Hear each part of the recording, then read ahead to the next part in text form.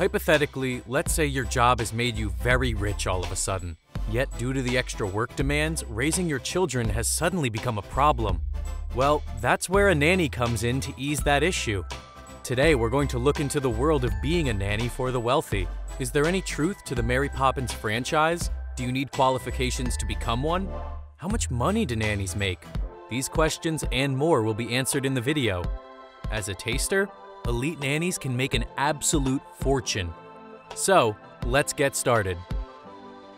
The most important aspects of being a nanny, or manny as the men are sometimes known as, is of course looking after the children under your care. This includes cleaning, cooking, and laundry for the kids. They also provide activities for their charges in order to get the best development for them, such as sports clubs, going to a museum, or so on. If the kids are sick, like with a cold, the nanny is the one that primarily takes care of them. They also take the children to nursery, school, or other such places. Full-time nannies are often expected to work 60 plus hours a week and can be required to work longer if needed. There are also a number of extra tasks a nanny might do. For starters, they might be required to travel abroad with the family for work or a vacation. However, it won't be a relaxing time for the nanny. They're on the clock after all. There's also the role of nanny housekeeper, on top of looking after the children, they're expected to combine the tasks of a housekeeper, such as buying groceries, running errands, cleaning the house, and more. There's also live in and live out nannies. The former is when the nanny lives within the family home. There's also the role of governess. This is when teaching the children is the primary role. One of the most important responsibilities of a nanny is choosing to work with the right family. Autumn Backman, a professional nanny, stated, quote, it's a relationship, not a job. Picking a job just for a high salary is like marrying for money. It's the wrong reason, unquote. As such, trust between the nanny and family is vital. Otherwise, it could end up in court, such as in 2015 when Mariah Carey and Nick Cannon were sued by their nanny, Simonette DaCosta, for unpaid wages and unfair dismissal. She was seeking $100,000 in damages, and it wouldn't be the only time a former nanny would sue Carey. Discretion is key. It's expected that the nanny's client's life won't be spoken about, not even to friends or family. Sometimes they might even be asked to sign a non-disclosure. Due to this, it's easy for a nanny to feel lonely. They're regularly forgotten about for the client's events, have no one to confide in, and can feel isolated if they're on call for the client 24 7. But the role can allow you to see wonderful sights and meet interesting people, so there are pros to it as well. If you're thinking about becoming a nanny, on the bright side, it doesn't require any formal qualifications, but there are a number of courses that can help you land that child caring role, either through a client directly or signing up with an agency. Firstly, being bilingual can be a big advantage, as teaching the children another language can be enticing for clients, or if the family travels across the globe regularly. According to experts, in order to become fluent in another language, it can be as much as $13,000. First aid training and CPR are also attractive, especially when it comes with a focus on children and infants. CPR courses usually cost up to $75 per person, Having a driving license is usually preferred by clients as you may be ferrying kids around, which depending on the state, can cost between 80 to $1,000 in the United States.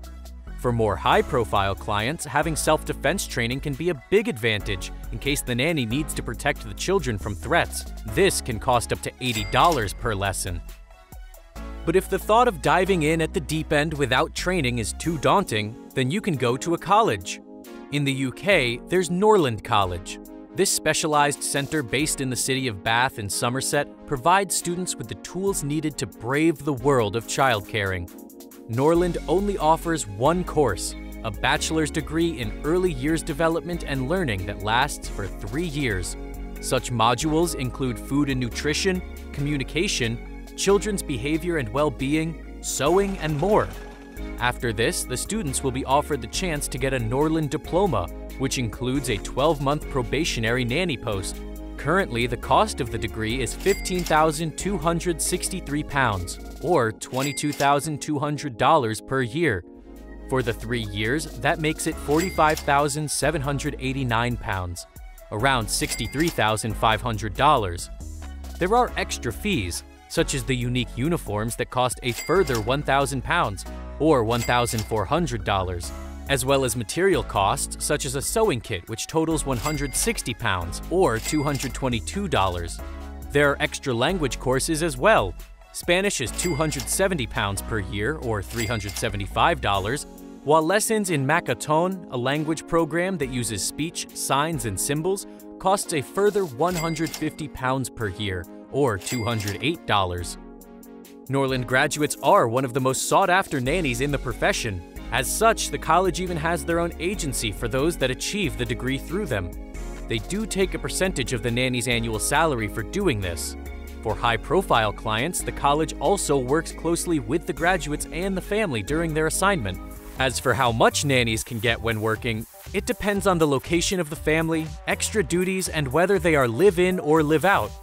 Those that live in will have a lower salary but don't have to worry about household bills, rent, and other such costs.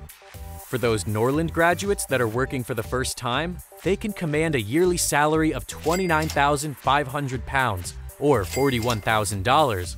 While those that don't train at Norland, their salary can start from £22,000 or $31,000 while a Norland nanny with 5 to 10 plus years of experience can bring in 100,000 pounds or $139,000.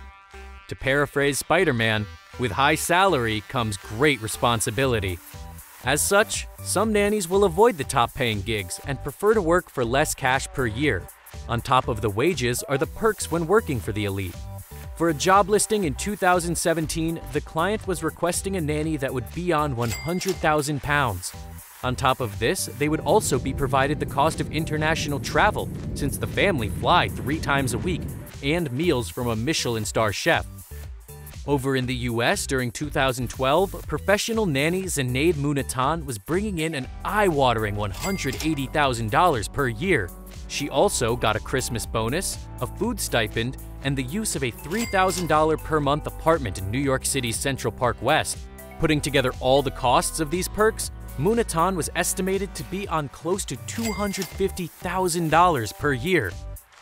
An easy way to find work as a nanny is to sign up with an agency. But in order to get into agencies, you'll need to meet a load of differing criteria, Commonly, they look for those with qualifications, a clean criminal record, around three years of experience, and the ability to make a one-year investment into a family. If accepted, they'll pair you up with a client in exchange for a slice of your earnings. Westside nannies in the US currently state that a nanny is typically paid between 25 to $40 per hour. On top of this, the nannies also receive two weeks paid vacation, paid holidays or sick days, and a health insurance stipend. Final fact finish. Speaking of nannies, for a long time, the author of the 1934 novel for Mary Poppins, P.L. Travers, wasn't keen on selling the film's rights to Disney. But with royalties dwindling, Travers agreed to sell the rights to Disney for part of the box office income and $100,000 in 1961. Today, that would be nearly $886,000. Thanks for joining us today. We'll see you next time.